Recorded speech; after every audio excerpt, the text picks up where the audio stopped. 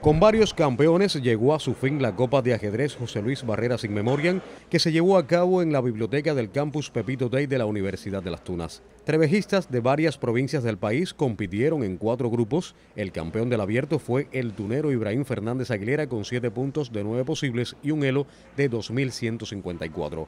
Mientras que el grupo escolar lo ganó ampliamente el camagüeyano Dorian Román con seis y medias unidades. Ese evento aquí en Las Tunas para mí ha, sido una forma de entrar de nuevo en los torneos oficiales para poder, y una forma de preparación para, para jugar el torneo Migoya que se juega en Camagüey en el mes próximo. En el apartado Premier hubo mucha rivalidad. Una victoria en la última ronda le permitió al holguinero Alejandro Acosta Guerrero llevarse el éxito con siete rayas por encima del camagüeyano Javier Sotolongo, quien logró seis. En el apartado juvenil, el granmense Pedro Emilio Hidalgo Sayas, con seis puntos y medio, se llevó el éxito.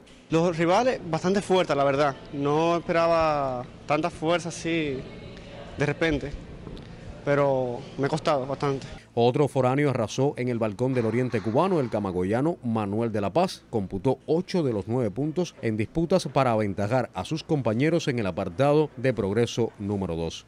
Para los tuneros, rescatar este torneo fue una opción importante. Ha sido un éxito rotundo para el desarrollo del ajedrez y lo que aspiramos, que precisamente el torneo se convierta en, un acicate para, todas las provincias orientales y, y, demás provincias, que quieran visitarnos, que quieran participar y que se desarrolle el ajedrez de esos jóvenes que vienen subiendo.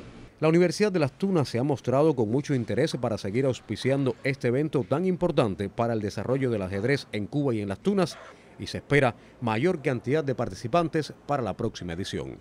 Deportivas Orlando Cruz, LTV Noticias.